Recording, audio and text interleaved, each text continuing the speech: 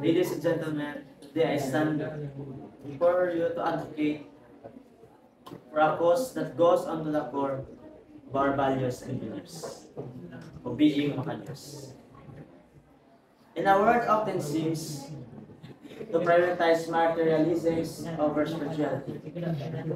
It is our duty to rekindle our connection with our faith or embrace